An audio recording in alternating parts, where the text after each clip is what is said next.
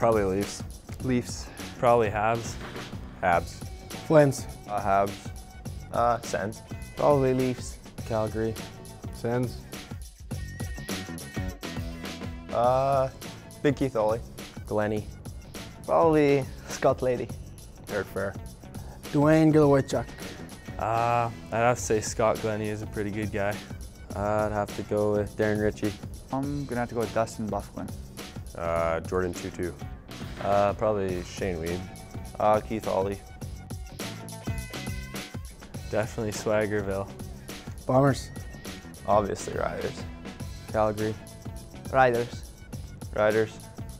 Bombers. Riders. Uh, Bombers. Bombers.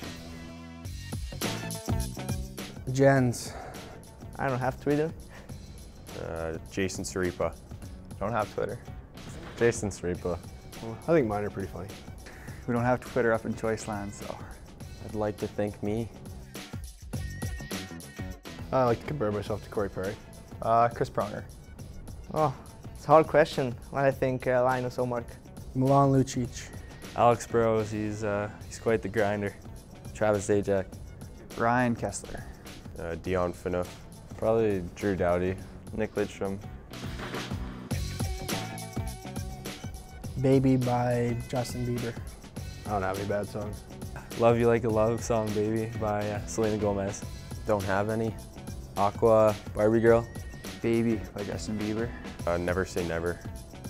I don't listen to bad songs. I only download good songs. For local sports scores and stories, follow us on Twitter. For exclusive discounts, prizes, and contests, like us on Facebook.